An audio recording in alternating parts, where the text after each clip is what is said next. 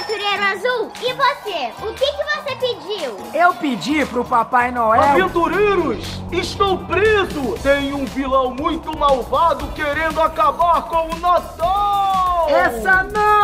Ué, Papai Noel, você tem habilidade especial também? Claro, eu sou o Papai Noel! Eu uso o poder da mente!